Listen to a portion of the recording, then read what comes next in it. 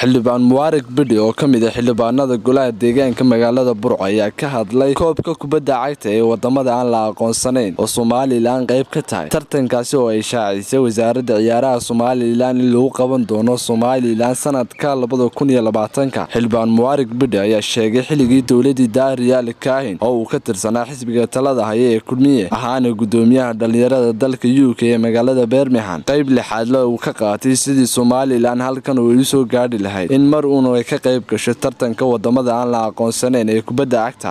Koobkaasi wuu jiraa muddo fara badanna runtii uu soo socday. Labadii kun iyo saddexdii. Runtii waxaan odhan karaa waa waa hambalyaynaya waana guul u soo hoyatay qarankeena somalilan. Waana wax inoo keeni kara sumcad wanaagsan. Koobkan labadii kun iyo saddexdii ayaa waxaa xubinka ah oo n waddamada aan fiifa ka ahayn xubin ayaa koob ayaa ayaa ururkan ka ah xubin anigoo maaragtay ku sugan dalka ingiriiska.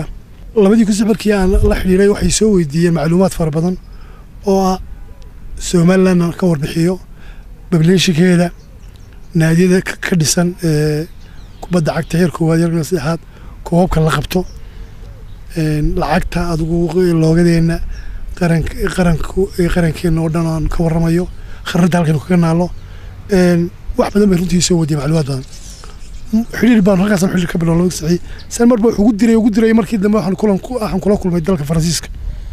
Ee kulankii labaadna waxaan kula kulmay london. Sawirka halkaa ka muuqda oo halkaa ad arkayso oo aniga iyo ninka ninkii markaa haystay ururka mishaaliil la odhan jiray weeyaan koobka waktigaa la doonaya in la dhigana kaasuu ahaa waxaan sameeyoo kale loogada halkaa taalla arkaysa waa loogada imika qarankeenu somaliland football federationkeenu ay isticmaalaan iminkana la isticmaalo.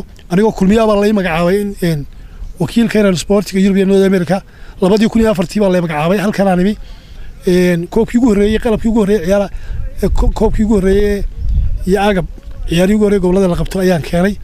Marka de waxaan leeyahay ha laga wada shaqeeya baan leeyahay markay noqoto dan guud.